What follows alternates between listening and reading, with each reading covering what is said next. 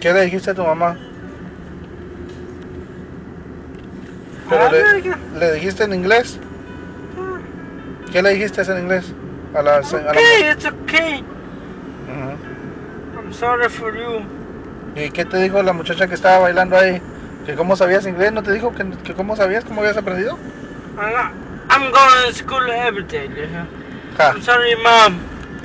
Se quedó con la boca abierta. Fucking shit, Leo. You like dance?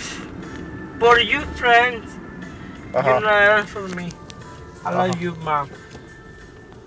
Maybe next week, or two week, uh, three week, or four, like, yes. Uh, maybe.